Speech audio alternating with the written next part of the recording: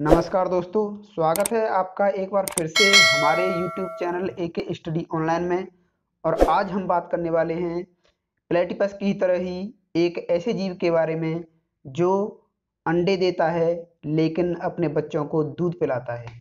तो आज हम बात करने वाले हैं छोटी चोंच वाले एक डना के बारे में।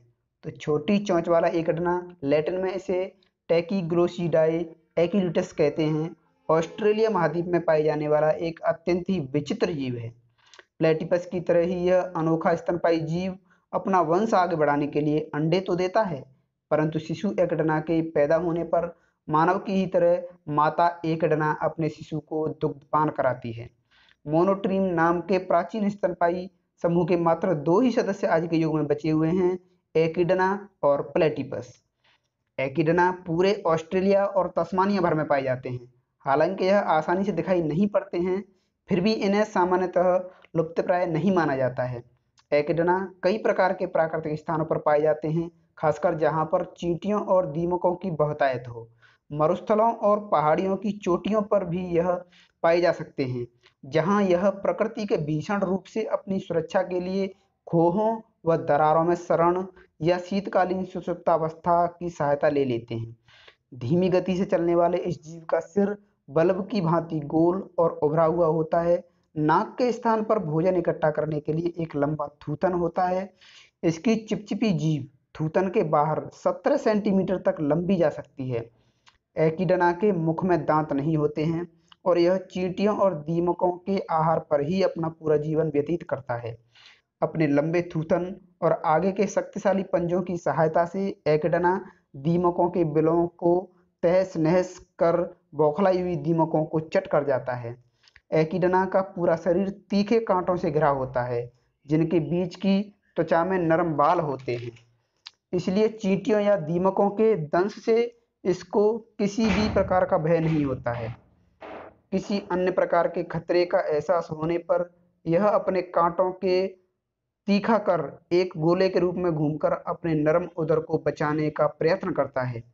या फिर अपने उदर को मिट्टी में खोदकर छिपा लेता है, जिससे कि केवल कांटे की, कांटे ही आक्रमणकारी को नज़र आए। नर एकटना के पृष्ठ पर एक कांटेदार हड्डी होती है, परंतु इसमें विष नहीं होता है। सामान्यतः एकटना एकांत प्रिय जीव होते हैं, परंतु जुलाई से अगस्त के बीच में अपने जनन काल के समय अपने शरीर से यह ऐसी तीखी गंध छोड़ते हैं, जिससे कि विपरीत लिंग के सदस्यों को इनकी उपस्थिति का पता चल जाए। इस दौरान किसी एक मादा के पीछे कई सारे नर घटना एक ट्रेन बनाकर तब तक पीछा करते रहते हैं, जब तक कि मादा सहवास के लिए तैयार न हो जाए।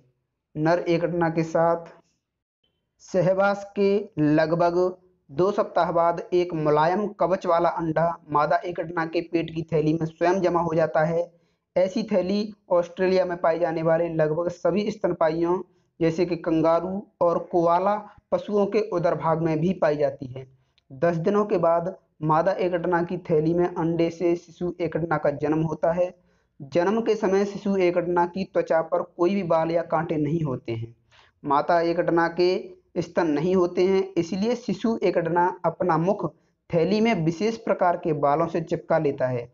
माता की दुग्ध ग्रंथियों से रिसने वाला दूध इन बालों से होकर शिशु के मुख में लगातार पहुँचता रहता है। शिशु एकटना अत्यंत तीव्र गति से विकसित होता है। अपने जीवन के पहले 45 दिनों में इसका भार जन्म के समय के भार से 500 गुना बढ़ सकता है। इस समय में इसके शरीर पर कांटे भी उत्पन्न हो जाते हैं, जिनके कारण माता को इसे अपनी थैली में लेकर विचरण करने में असुविधा महसूस होने लगती है। इस कारण माता अपने शिशु के किसी चट्टान की दरार या खो में छिपा देती है और प्रत्येक पाँच छः दिनों में दुग्ध पान कराने के लिए लौट कर आती रहती है। यह कार्यक्रम करीब छः महीनों तक चलता रहता है। डिंगो, ऑस्ट्रेलिया में पाए जाने वाले जंगली कुत्ते और सियार एक डना के प्राकृतिक बच्चक शत्रु होते हैं। एक सरकारी प्रयोजन के तहत दक्षिण ऑस्ट्रेलिया का कंगारी द्वीप बच्चक पशुओं से मुक्त कर दिया गया है। इसलिए इस द्वीप पर एकडनाओं और अन्य पशुओं की भरमार पाई जाती है।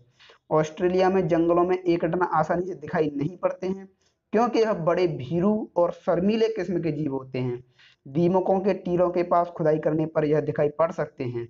इनका मल चमकीली परत से ढकी लंबी गोलियों के समान होता है, जिनमें चीटियों के अधपचे अवशेष दिखाई पड़ते हैं। इसकी सहायता से भी एकटना के निवास स्थान का ज्ञान हो सकता है। तो दोस्तों, वीडियो कैसा लगा? हमें कमेंट करके ज़रूर बताइएगा। और वीडियो अगर अच्छा लगा हो तो इसे लाइक और शेयर करना मत भूलिएगा। और ऐसे ही लेटेस्ट वीडियो पाने के लिए हमारे चैनल को सब्सक्राइब करना मत भूलिएगा। तो बस, आज के लिए इतना ही। मिलते हैं अगले वीडियो में। नमस्कार, जय हिंद।